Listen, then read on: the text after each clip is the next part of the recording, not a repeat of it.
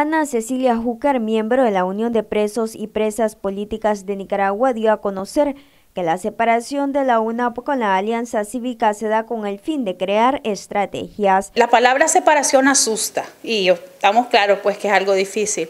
Eh, pero pareciera que esto es un juego de palabras, pareciera que es un jugar con, con, eh, con las expectativas, pero la verdad, la verdad es que por temas de comunicación y temas de estrategia, que tal vez no se pueden, eh, no, es, no es sano sacarlo todo de una vez.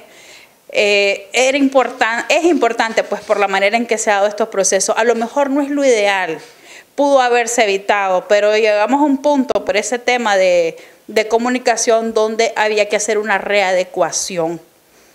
Eh, donde no se está renunciando a la gran coalición, todo lo contrario, desde sus, desde sus eh, lugares, desde sus posibilidades, desde sus... Son, son dos organizaciones que aglutinan organizaciones y desde su fortaleza eh, vamos a seguir trabajando cada uno por esa gran coalición. La gran coalición no es que esté retrocediendo y no es que no se va a hacer y no es un proyecto abortado. La gran coalición va pero ahora creo que, va a ser mejor a través de esta readecuación donde la UNAP y la Alianza Cívica, eh, cada uno toma posturas más claras, más definidas para avanzar hacia, hacia esa coalición.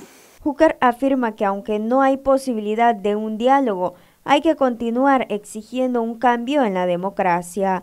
Este pueblo no puede dejar pasar tanto dolor, renunciar a ser libres como pueblo a vivir bajo la ley y a obtener justicia, porque somos un pueblo sediento de justicia y si nos levantamos y si reaccionamos en algún momento y si eh, mantenemos una lucha cívica es porque queremos justicia y la vamos a conseguir.